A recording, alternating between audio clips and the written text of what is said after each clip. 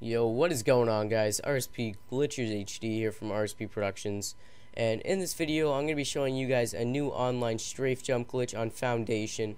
And what you're going to want to do is come to the back of the map at the staircase do a strafe jump around the building onto this little ledge here.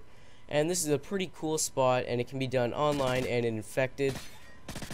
So this glitch was found by me and my friend Krayzed Native. His channel link will be in the description. Make sure you guys check him out this glitch can be a little tricky if you're not experienced with strafe jumps, but rather than that, it's a pretty simple glitch.